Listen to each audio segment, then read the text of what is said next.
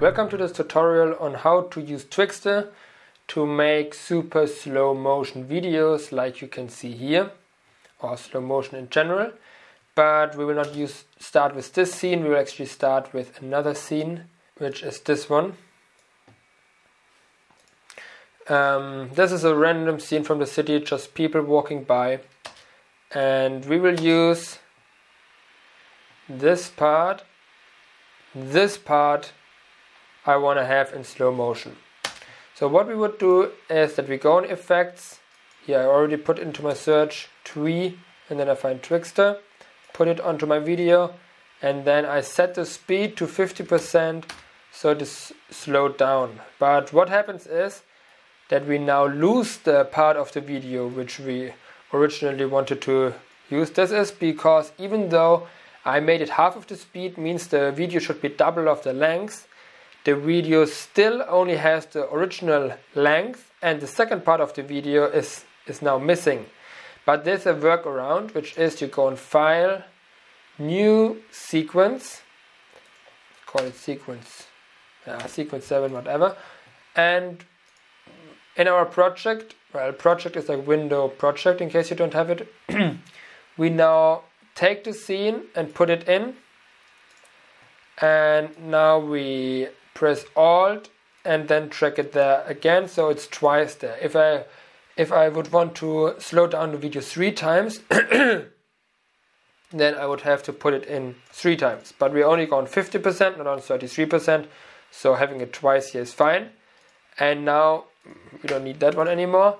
We take our sequence 7, this is called sequence 7, so we take our sequence 7, drag it into our timeline, and now we can see that the video is here actually twice twice the whole video and this means that we when we put in Twixtor now and put it on 50% the whole video will now be there once and this is the part of the video which we wanted to use and it is now slowed down by 50%.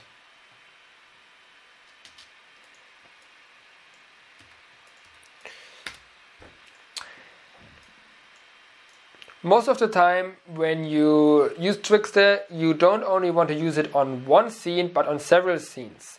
But you have to be careful with that because you can't just take our sequence 07 and put in a new video file because this would mean that our original video would be gone now. So let's reverse that again.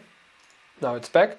So one option would be to just create a new sequence, sequence 8 and bring in this video. Or the other option is especially when you want to use Twixtor many times you would have like 20 sequences and that wouldn't be so good that you export a scene and then bring in the exported version as a new video file okay? So now I would have it on 08 twice and then we bring in 08 we put on Twixtor, go on 50%, and there we have our guy walking in a little bit slow motion. Let's now talk about a different case. Let's use this video, oops, which is, uh, it's actually not 4K, so let's put it on scale 200, um, which is those crazy motorbikers. This scene was recorded with 100 frames per second. My timeline has 25 frames per second. Uh, you can check this under sequence sequence settings, 25 frames per second. So we can slow it down four times. Come on. Speed duration 25%. And it's already slowed down without using Twixtor four times. But by using Twixtor, I can change it to 8 times slow motion. So I add Twixtor, and what happens is that my video gets orange. Why does it get orange? This is because Twixtor doesn't like it when you use a video with a different frame rate than your timeline has. So this video has a frame rate of 100 frames per second and the timeline has 25 frames per second, so this doesn't work. And what I need to do is that I export this scene in a 25 frames per second timeline, go on export, and then we import it again, which is this one here, I already did it before. So we bring in our scene, which is slowed down four times, but it is now a 25 frames per second video.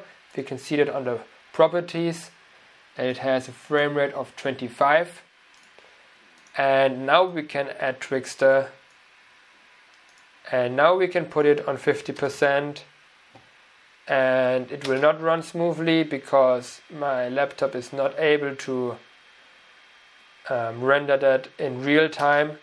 But it's the same scene like you see in the beginning here with the 8 times slow motion. So here are all the scenes on full screen and as you can see, there are no artifacts or barely any artifacts when you only slow down to 50%. But here you can see now the same scenes slowed down to 25%, which is a four times slow motion or a quarter of the speed. This also works out as long as there are no sudden and unpredicted things happening, but I wouldn't count on it.